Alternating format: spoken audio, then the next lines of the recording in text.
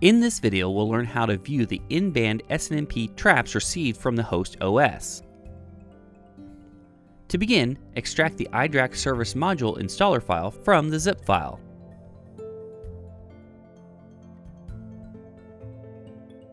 Navigate to the folder in which the iDRAC Service Module installer file is saved and double-click to install.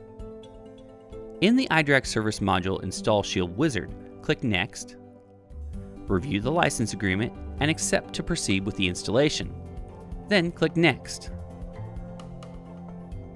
Select the custom option as a setup type, and then click Next. Click the in-band SNMP Traps drop-down menu and enable this feature on the local machine, and then click Next to continue.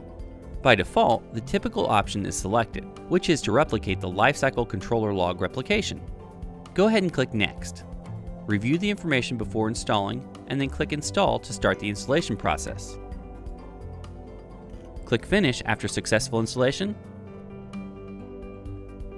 Now, open the Trap Listening tool. And then on the browser address bar, type the IP of the system and press Enter. On the iDRAC login page, enter the iDRAC credentials and then click Submit.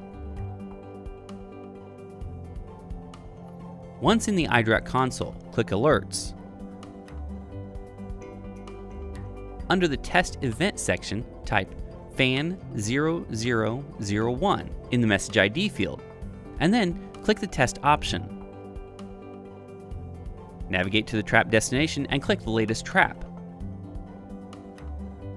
You can view the SNMP trap details, such as time received, the system which generated the trap, IP address of the system, enterprise name, trap ID, enterprise object ID, variable bindings, and so on.